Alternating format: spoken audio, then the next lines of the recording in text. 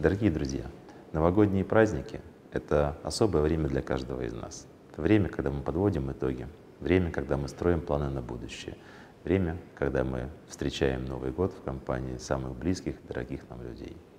2019 год был наполнен важными событиями. Мы реализуем национальные проекты «Наука», «Образование», «Цифровая экономика» и многие другие. В центре национальных проектов находится человек — студент, преподаватель, ученый.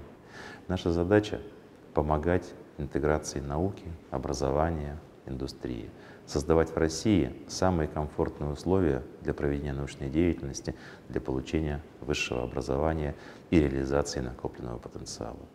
Нам многое удалось сделать в этом уходящем году, но еще больше предстоит в году наступающем.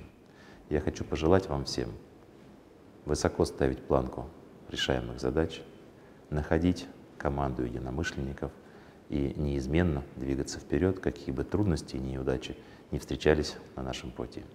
Хочу пожелать, чтобы Новый год вы встретили в компании самых близких и дорогих вам людей, чтобы эти праздники были наполнены теплотой вашего семейного общения и радостью встречи с близкими и дорогими людьми.